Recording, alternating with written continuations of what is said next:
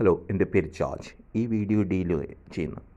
അതായത് ചിലവരെയൊക്കെ വിസ അപേക്ഷിച്ചത് അത് റെഫ്യൂസ് ആവും അപ്പോൾ എന്തുകൊണ്ടാണ് റിസൾട്ട് റെഫ്യൂസ് ആവാൻ അതായത് അവർക്ക് വിസ കിട്ടില്ല. വിസ കിട്ടാത്ത എന്തുകൊണ്ടാണെന്ന് അറിയാൻ വേണ്ടി. അപ്പം അതായത് വേറൊന്നുമില്ല.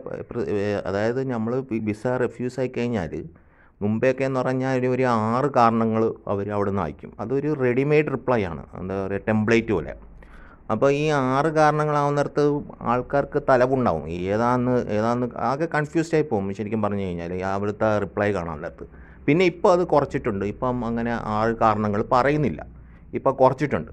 അപ്പം ഇത് എന്ന് പറയാൻ നേരത്ത് നമുക്ക് എന്ത് കാരണത്തിലാണ് എന്ത് കറക്റ്റ് കാരണം അറിയണമല്ലോ കാര്യം നമ്മളിപ്പോൾ പിന്നെ അപേക്ഷിക്കുകയാണെങ്കിൽ അതായത് പിന്നെ അപേക്ഷിക്കുക എന്ന് പറയാൻ നേരത്ത് സീരിയസ് ആയിട്ട് അതായത് അതിനു വേണ്ടി വർക്ക് ചെയ്യുന്നവർ അതായത് വിസ കിട്ടാൻ വേണ്ടി വർക്ക് ചെയ്യുന്നവർക്ക് എന്ത് കാരണത്തിലാണ് അത് എന്ന് പറഞ്ഞ് അങ്ങനെ നീങ്ങുന്നവരുണ്ട്. അപ്പോൾ ആ- അവർക്ക് എന്ന് പറയാൻ നേരത്ത് ഇത് വളരെ ഉപകാരവും. വേറൊന്നുമല്ല അതായത് കറക്റ്റായിട്ട് പറഞ്ഞു കഴിഞ്ഞാൽ ഇത് ഒരു ബേക്കർ എന്ന് പറഞ്ഞ ഒരു അത് ഏത് മീൻസ് ഒരു മീൻസ് ഒരു ആൾ മറ്റേ കാനഡ ഗവൺമെന്റിനെതിരെ നിയമപരമായിട്ട് നീങ്ങി. നിയമപരമായിട്ട് നീങ്ങി. അങ്ങനെ ആ ഒരു നല്ല ആത്മാവ് നല്ലൊരു മനുഷ്യൻ കാരണമാണ് പിന്നെ അതായത് കാനഡ ഗവൺമെന്റ് എന്ത് കാരണത്തിലാണെന്ന് അതായത് അതായത് ഒരു ശരിക്കും പറഞ്ഞു കഴിഞ്ഞാൽ പക്ഷേ അത് അറിയണമെങ്കിൽ എന്ത് കാരണത്തിലാണ് നമ്മുടെ വിസ കിട്ടാതിരുന്നതെന്ന് അറിയണമെങ്കിൽ അവിടുത്തെ ഒരു പൗരനെ വെച്ചിട്ട്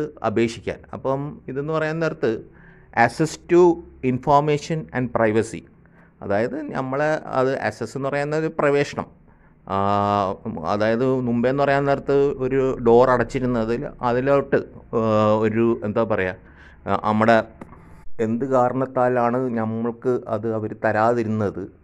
അതിനോട് ഒരു പെർമിഷൻ ആ ഫയലിലോട്ടുള്ള ഒരു പെർമിഷൻ അപ്പോൾ ആ ഫയലിൽ അപ്പം എന്ത് കാരണമാണെന്ന് ക്ലിയറായിട്ട് എഴുതിയിട്ടുണ്ടാവും. ആ, അപ്പം അതെന്ന് പറയുന്ന നേരത്ത് അപ്പം അങ്ങനെ ഒരു ഇത് കാനഡ ഗവൺമെന്റ് അത് കഴിഞ്ഞിട്ടാണ് മീൻസ് നമ്മളെ നമുക്ക് അങ്ങനെ അത് അത് അന്വേഷിക്കാൻ വേണ്ടി അത് അത് അതിന് വേണ്ടി നമുക്ക് അന്വേഷിക്കാൻ വേണ്ടി അങ്ങനെ ഒരു ഇത് തന്നത്. ഒരു നമ്മളൊരു അവകാശം പോലെ തന്നത്. ഇത് നമുക്ക് മനസ്സിലാക്കാമെന്ന് പറയുന്നത് ഞാൻ അറിയത്ത്? ഇവിടെ നമുക്ക് അതുമായിട്ട് റിലേറ്റ് ചെയ്യാൻ പറ്റുന്നതെന്ന് പറയുന്നത് ഓൾമോസ്റ്റ് വിവരാവകാശം പോലെ വരും. അതുപോലെ തന്നെയാണ് അത് വരുന്നത് ശരിക്കും പറഞ്ഞു കഴിഞ്ഞാൽ അപ്പോൾ അതിന്റെ അതായത് ശരിക്കും പറഞ്ഞാൽ അത് അറിയണമെങ്കിൽ ഒരു കനേഡിയൻ പൗരൻ വേണം. പിന്നെ വലിയൊരു ഫീസൊന്നും വരില്ല. നിങ്ങൾ അതിനെ അറിയാൻ വേണ്ടി ഒരു വലിയ ഫീസൊന്നും വരില്ല. എംബസി കൊടുത്തു കഴിഞ്ഞാൽ ആ പൗരനെ വെച്ചിട്ട് അപേക്ഷിച്ച് കഴിഞ്ഞാൽ എന്ത് എക്സാക്റ്റ് കാരണത്താലും നിങ്ങൾ നിങ്ങൾക്ക് എന്തുകൊണ്ട് റിഫ്യൂസ് ആയെന്ന് നിങ്ങൾക്ക് അറിയാൻ പറ്റും. ഇത് കണക്റ്റഡ് ആയിട്ടാണ് G C M S notes അതെല്ലാം അതിന്റെ അടിയിൽ വരുന്നതാണ്.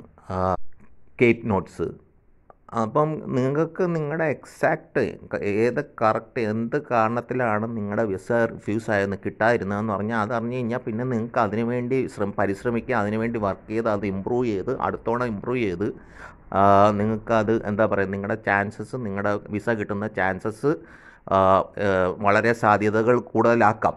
അല്ലെങ്കിൽ നമ്മൾ വെറുതെ ഇരുട്ടിൽ കിടന്ന് തപ്പുന്ന പോലെ ഇരിക്കും. ഈ വീഡിയോ ഇവിടെ അവസാനിക്കുകയാണ്. കൂടുതലും കൂടുതലും വീഡിയോസ് കൊണ്ടുവരാൻ ആഗ്രഹിക്കുന്നു. പ്ലീസ് ലൈക്ക് ചെയ്യുക മാക്സിമം ഷെയർ ചെയ്യുക സബ്സ്ക്രൈബ് ചെയ്യുക കമൻസ് പാസ്സാക്കുക. പിന്നെ ഞങ്ങളെപ്പോഴും ഞങ്ങളുടെ ഒരു സർവീസസ് ഞങ്ങളുടെ ഒരു സർവീസ് പറഞ്ഞിട്ട് വീഡിയോ അവസാനിക്കുന്നതാണ്. അത് വേറെ ഒന്നുമില്ല നിങ്ങൾക്ക് ഏത് രാജ്യത്തിലോട്ട് പോകാനുള്ള വിസിറ്റിംഗ് വിസ പോകാനുള്ള ഞങ്ങളത് നിങ്ങളെ ആ ഫയൽ പ്രിപ്പയർ ചെയ്യാനായിട്ട് ഞങ്ങൾ നിങ്ങളെ സഹായിക്കുന്നതായിരിക്കും. നിങ്ങളുടെ ഫയൽ പ്രിപ്പയർ ചെയ്യാനായിട്ട് നിങ്ങളെ ഉൾക്കൊള്ളിച്ചായിരിക്കും ഞങ്ങളത് ചെയ്യുന്നത് ആദ്യം മുതൽ അവസാനം വരെ. പിന്നെ എന്ന് പറയാൻ നേരത്തെ വേറെ ഒന്നുമില്ല ആ രാജ്യത്തുള്ള നിങ്ങൾ പോകേണ്ട രാജ്യത്തുള്ള പ്രോസസ്സിങ് ഫീസ് അവിടുത്തെ എംബസിക്ക് അടയ്ക്കേണ്ടതാണ്. ഞങ്ങളുടെ ഫീസ് നിങ്ങൾക്ക് വിസ കിട്ടിക്കഴിഞ്ഞിട്ട് മാത്രം തന്നാൽ മതി. താങ്ക്